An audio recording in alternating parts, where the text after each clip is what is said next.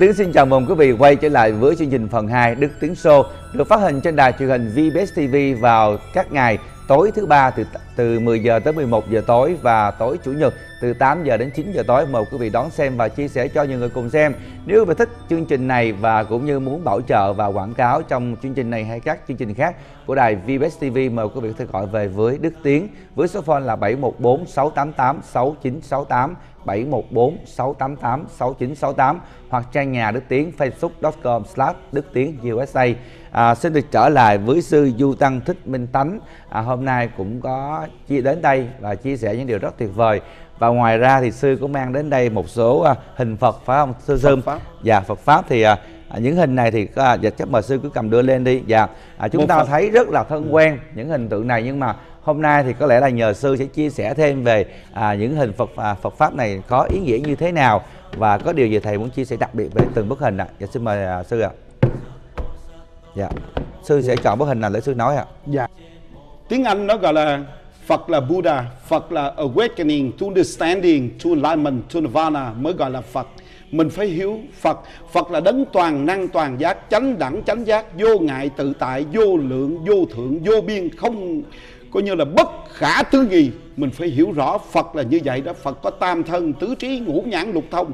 Mình phải hiểu rõ Phật là đấng toàn năng toàn giác, chánh đẳng chánh giác, vô ngại tự tại, vô thượng, vô lượng, vô biên, bất khả tư nghị đó mình phải hiểu rõ Phật theo Phật mà không hiểu Phật đó là phỉ bán Phật. Xưa kính thưa quý vị nhiều người họ phân biệt là Phật ông Phật bà Phật trắng Phật đen Phật nam Phật bắc Phật Phật vàng Phật đỏ Phật xanh ờ, Phật nằm Phật ngồi đủ thứ. Tại vì họ mê tín dị đoan. Đó mê tín dị đoan. Đó tiếng Mỹ nó gọi là superstition superstition fanatic mê tín dị đoan và cuồng tín. Còn Phật á, mình phải hiểu rõ Phật. Thí dụ như ông bố ông bu ông ba daddy bà bá ông tía một ông một vậy đó. Trong sông so many branches but only one trunk so many way but only one location. So many religion but only one result religion is not wrong the, but the people are the follower the believer. Mình phải hiểu Phật. Phật ờ, Phật ờ, cũng giống như cục vàng cục vàng nó làm đôi bông, sợi dây chuyền, chiếc nhẫn, chiếc lắc, chiếc còng, chiếc kiền. Hình tướng nó khác nhau, nhưng mà cùng chung một thể. Tại con người có ba cái tâm. Ba cái tâm gì? Cái tâm vọng tưởng vọng tưởng vọng tưởng. Cái tâm phân biệt phân biệt phân biệt. Cái tâm chấp trước chấp trước chấp trước. Nên con người phải luân hồi sanh tử đó đó là như vậy đó. Bởi vì có ba cái tâm đó, vọng tưởng, phân biệt và chấp trước nên mới luân hồi sanh tử. Vì chấp trước, chấp phật ông, phật bà, phật trắng, phật ngồi, phật nằm, phật đứng, đủ thứ hết. Đó, phật là điều, cái biểu tượng. Mình phải biết được phật là như vậy. Đây, hôm nay đó, đây phật tổ thích ca mâu ni. Đây là đây là nam mô Nam mô Ta Bà Giáo chủ Trung Thiên Điều Ngự Bổn Sư Thích Ca Mâu Ni Phật. Đây là Phật Tổ Thích Ca Mâu Ni đã dạy cho mình một cái giáo pháp như thế này. Quý vị, quý vị coi đây, đây đây là cái hình là à, đây cái hình là của người Trung Hoa thường thờ. Đó người Việt Nam mình ai cũng biết. Đó là cái như là đây là cái hình là Tam Thế Phật Tam Thế Phật. Đó quán, à, quán thế âm đại thế chí và a di đà quý vị phải hiểu cái hình phật cho rõ ràng.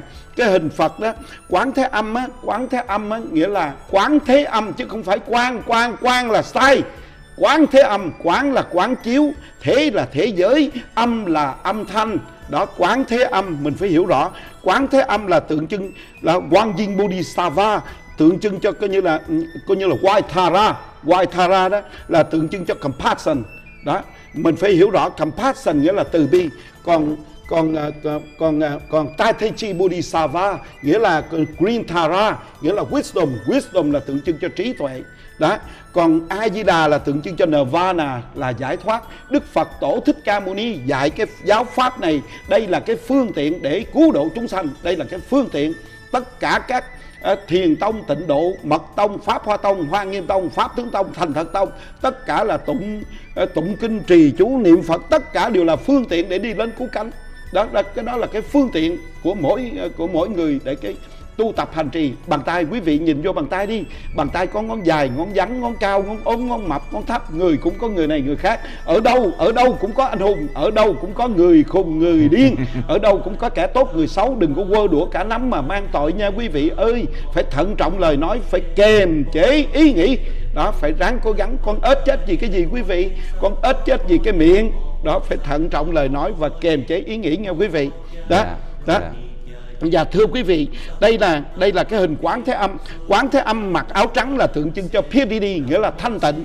Còn đại thế chí mặc áo xanh là tượng trưng cho meditation, nghĩa là thiền định.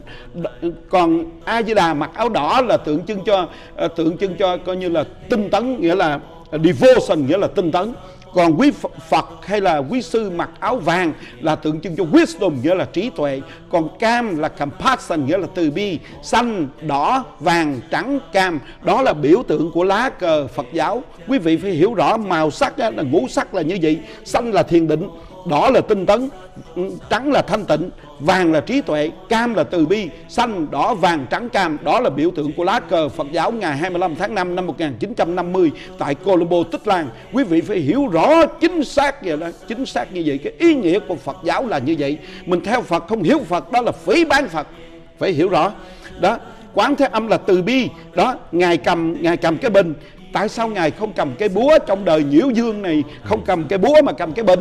Tại cái bình đó là tượng trưng cho tịnh bình. Tịnh là thanh tịnh, bình là bình đẳng. Cái tâm phải thanh tịnh và bình đẳng. Thương yêu tất cả chúng sanh trong muôn loài pháp giới đều bình đẳng như nhau. Mình đâu có thấy, mình đâu có bình đẳng đâu. Mình thấy đẹp khác, xấu khác, sang khác, hèn khác, nghèo khác. Còn phật bình đẳng, thương yêu chúng sanh đều bình đẳng như nhau. Còn á còn tay cầm tay cầm á, tay cầm cái nhành dương liễu là dương liễu. Dương là hoàng dương chánh pháp, liễu là liễu ngộ hoàng dương chánh pháp, phổ độ chúng sanh. Đó phải hiểu được. Nó cái cái cái nhành dương liễu nó cũng có nghĩa là nhu thắng cương, dược thắng cường cái nhành dương liễu nó có, tiếng tàu nó gọi là giảng nhất xì phúc thiền loạn trình thu dập hồ hỏi phục thiên u đó là nghĩa là, tiếng mỹ nó gọi là be patient nghĩa là sự nhẫn nhục đó, quý vị. Đó hay lắm. Cái này là, đây là biểu tượng. Quán thế âm là quán thế âm là thiên thủ thiên nhãn, vô ngại đại bi, tâm đà lên ni, từ bi, nhập thế cứu độ chúng sanh. Còn đại thế chí là tượng trưng cho kim cang ma ha bát nhã, ba la mật đa, tâm kinh trí tuệ xuất thế. Từ bi trí tuệ, nhập thế xuất thế mới đi đến chỗ là trung đạo. Đó, phật đó, phật dạy là phật a, phật tổ thích ca dạy mình, a di đà là trung đạo đó. Mình theo cái giáo pháp này là mình nhìn cái hình này là mình tu. Đây là trung đạo, đây là cái biểu tượng, cái phương tiện để cho mình Ờ, để mình tu. Mình lại quán thế âm là lại cái lòng từ bi, lại đại thế chí, là lại cái sự trí tuệ. Từ bi trí tuệ mới đi đến chỗ giải thoát là a di đà phật. Chứ ờ, mình phải hiểu cái nghĩa đó. Còn cái nhành hoa sen là tượng trưng cho thị dục nhi vô dục, cư trần, bất nhiễm trần, huyền y ly cấu địa, hương chấn pháp dương thần. Nghĩa là sống trong cõi dục mà không đắm nhiễm dục, sống trong cõi trần mà không đắm nhiễm trần. Đó, mình phải hiểu rõ đó là như vậy. Chứ đó mình phải hiểu rõ. Khi hiểu rõ rồi cũng giống như là trong đầm gì đẹp bằng sen lá xanh bông trắng lại choen nhụy vàng. Nhụy vàng bông trắng lá xanh gần bùn mà chẳng hôi tanh mùi bùn. Sống trong cõi dục mà không đắm nhiễm dục sống trong cõi trần mà không đắm nhiễm trần. Đó là đóa hoa sen đó. Đó bây giờ nói rốt ráo lại một lần nữa là từ bi trí tuệ mới đi đến chỗ giải thoát có từ bi mà không có trí tuệ đó là si mê. Có trí tuệ mà không có từ bi đó là ác đạo. Từ bi trí tuệ mới đi đến chỗ là quan trung chí tôn phật trung chi dương là mới giải thoát sanh tử được quý vị. Nam mô bổn sư thích ca mâu ni phật. Còn đức tiến nói về dục hả? Dục á, thì nó có nhiều. Đó thầy bị cám dỗ hay là ờ, quý thầy bị cám dỗ dục. Dục nó có nhiều dục ăn cũng là dục cũng như thế giờ ăn cũng là dục. Đó ham muốn cũng là dục sắc dục cũng là dục dục nó đủ thứ dục hết. Đó thế dụ bây giờ là à, nãy đức tiến có nói về dục vọng đó dục vọng về tình yêu. Bởi vậy tại sao mà người tu phải cắt ái ly gia phải trương trai diệt dục? Là như vậy đó cắt ái ly gia trương trai diệt dục. Quý vị phải hiểu rõ phải hiểu rõ là như vậy. Ờ, cái dục đó nó có tình yêu á nó có ba có có ba cái tình yêu. Tình yêu á là tình yêu nam và nữ thì tràn đầy những sự dục vọng và phiền não tình yêu thứ hai là cho quê hương và tổ quốc tình yêu thứ ba là thế giới nhân loại tình yêu mà chẳng riêng ai cả yêu khắp muôn loài lẫn chúng sinh mới thật sự là tình yêu đây sư nè hôm nay nè nói về tình yêu á đức yeah, tiến yeah. Dạ. sư đặt một bài thơ về tình yêu nha đây yeah. Dạ. nè cái bài thơ tình yêu yêu đây là chàng chàng với nàng chàng yêu nàng nàng yêu chàng đó chàng yêu nàng, chàng yêu nàng tâm hồn điên đảo. Nàng yêu chàng, áo não tâm can. Hồn phi phách tán tiêu tan. Coi như là yêu mang phiền não, gian nan luân hồi. Bởi vì người tu là không dám yêu là như vậy đấy. Phải yêu khắp muôn loài lẫn chúng sinh. Nam mô bổn sư thích ca mâu ni phật. Dạ vâng và quý vị cũng thấy là hôm nay thầy mang đến đây rất nhiều à, những hình ảnh về Phật à, pháp và cũng như là à, dạ for free Dạ, và thầy sẽ nói là thầy cũng muốn à, gửi tặng tất cả những à, hình ảnh, những Phật pháp này à, đến với tất cả quý vị nào mà muốn có được những hình ảnh này thầy gửi tặng for free cho tất cả quý vị. Nếu quý vị muốn biết thêm à, về những hình ảnh này và những Phật pháp này cũng như có những điều gì thắc mắc à, được thầy chia sẻ thì quý vị có thể gọi về trực tiếp với thầy. À, đó là du tăng thích minh tánh số phone là 408 960 4903 408 960 4903 tất cả những cái hình ảnh về Phật này thầy sẽ gửi tặng cho quý vị.